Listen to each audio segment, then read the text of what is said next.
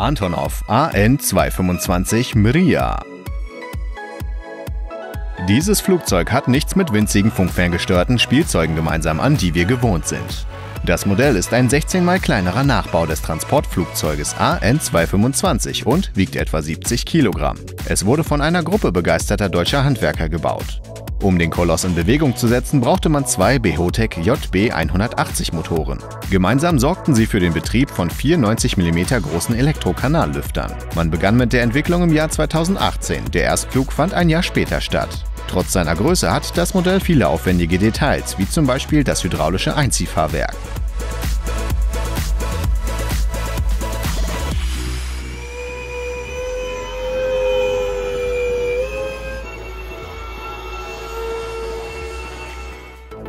RC Mammoth Reveron. Dieses Flugzeug wirkt wie ein Spielzeug, aber nur, wenn man seine Abmessungen nicht kennt. Der Mammoth Reveron ist ein um dreimal kleinerer Nachbau des Originalautos. Auch seine technischen Eigenschaften ähneln keineswegs denen eines Spielzeugs. Der Benziner erreicht Geschwindigkeiten von bis zu 70 km pro Stunde. Das Modell ist 90 cm groß und 185 cm lang. Es wiegt etwa 80 kg. Der Entwickler ist Mammothworks, der das Modell in drei verschiedenen Versionen anbietet, die sich je nach Motorleistung unterscheiden. Der Preis variiert etwa zwischen 5.500 und 15.000 US-Dollar.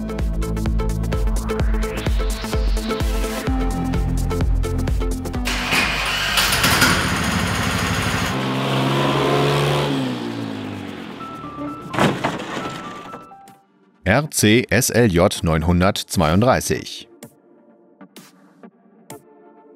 Maschinen, die Brücken bauen, sind riesig und komplex. Dennoch gelang es einem unbekannten Handwerker, das Modell mit äußerster Genauigkeit nachzubauen. Das Video einer 40-fach kleineren Version des 580 Tonnen schweren chinesischen Brückenlegers erschien im Jahr 2016 online. Das RC-Modell ist etwa 228 cm lang und 18 cm breit. Der Entwickler behauptet, dass das Spielzeug genau wie das Original Brücken bauen kann, allerdings Spielzeugbrücken. Es verlegt die vorgefertigten Brückensegmente völlig selbstständig, ohne Beteiligung von Kränen oder anderen Hilfsgeräten.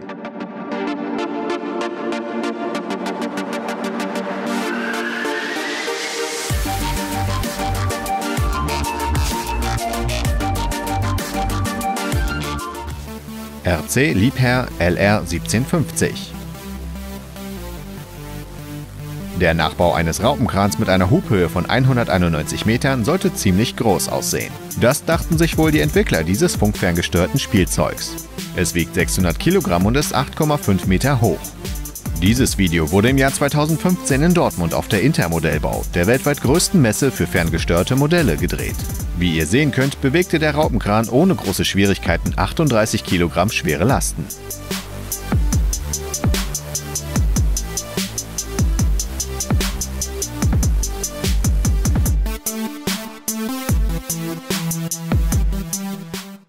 Bundeswehr EC 135.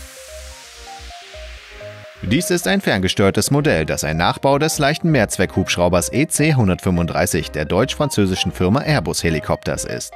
Das Flugzeug ist im Vergleich zum Original sechsmal kleiner. Es hat einen Jetcat PH-T3-Motor, der die Leistung von einem Turbinenmotor bezieht. Der Heckrotor kommt von Cinescale Fenestron, der Rumpf und die Schaufeln sind von OF Helitechnik. Die Fernsteuerungsausrüstung samt Empfänger wurde von Futaba Fast genommen. Es erhebt sich nicht nur in die Luft, sondern hat auch eine anständige Manövrierfähigkeit.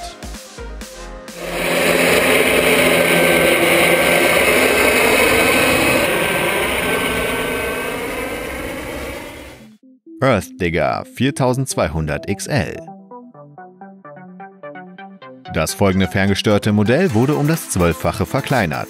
Dies ist ein hochdetaillierter Hydraulikbagger. Das im Kit enthaltene Bedienpult setzt nicht nur die Raupenbühnen, sondern auch das Arbeitsgerät, den Ausleger mit Schaufel, in Bewegung. Der 4200 XL ist aus gefrästem Aluminium gefertigt. Es verfügt auch über Arbeitsscheinwerfer und einen gut gestalteten Innenraum mit speziellem Platz für einen Spielzeugbediener. Das Spielzeug ist 84 cm hoch und 25 cm breit. Die Grabtiefe beträgt 50 cm. Der Preis beträgt etwa 1500 US-Dollar.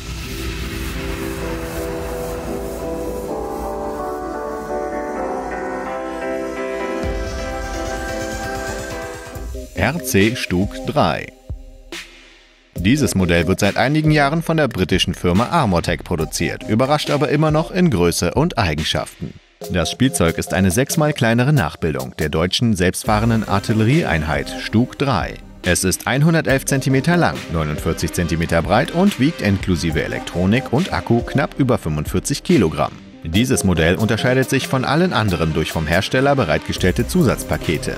Das Spielzeug kann realistische Geräusche machen, zeigt beim Schießen einen Rückstoß und bläst sogar Rauch. Der Preis beträgt etwa 5000 US-Dollar.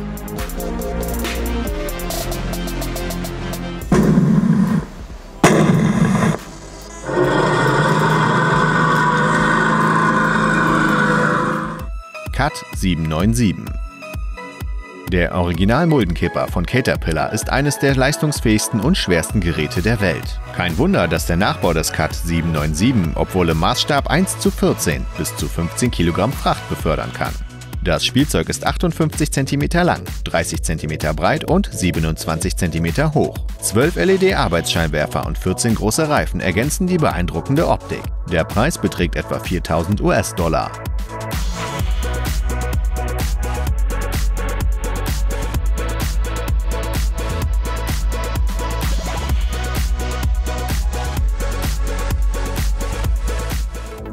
RC Hot Air Balloon.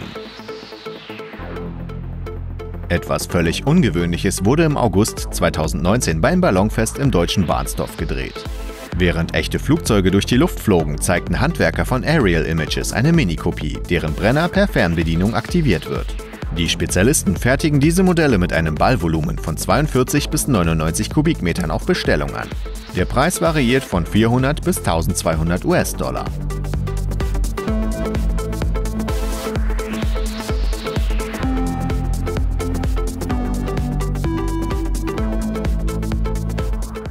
Convair YF2Y1 Sea Dart. Dieser Nachbau ist eine Neuheit, deren erster Test auf dem Wasser Anfang des Jahres stattfand. Den Spezialisten von The Little Jet Company ist es gelungen, eine viermal kleinere Version des experimentellen Wasserflugzeugkampfjets Convair F2Y Sea Dart bis ins kleinste Detail nachzubauen. Jetzt nähern sie sich allmählich dem Entwicklungsstadium, wenn man schon von Massenproduktion sprechen kann. Genau wie das Original kann sich das Spielzeug aus dem Wasser in die Luft erheben und entwickelt hohe Geschwindigkeiten. Leider gibt es derzeit noch keine Informationen zu den technischen Eigenschaften.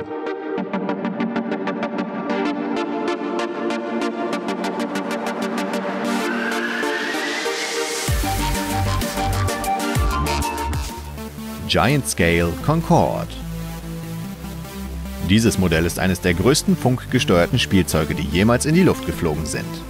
Es wurde von einem Handwerker namens Otto Wiedelreuter gebaut und ist sechsmal kleiner als ein echtes Flugzeug. Es hat eine Flügelspannweite von 4 Metern und eine Länge von 10 Metern. Die Höhe des Flugzeugs beträgt 1,85 Meter, das Gewicht 159 Kilogramm. Es wird von vier JetCat P300S Triebwerken angetrieben. Das gezeigte Video wurde im Jahr 2020 aufgenommen, daher ist das Spielzeug ziemlich neu.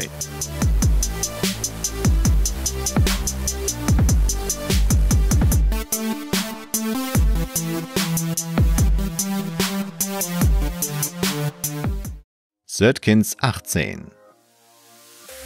Auch das letzte Fahrzeug für heute gehört zu den größten seiner Art. Es handelt sich um einen Nachbau eines Trawlers, eines Fahrzeugs, das zum Fangen von Fisch und Meeresfrüchten entwickelt wurde.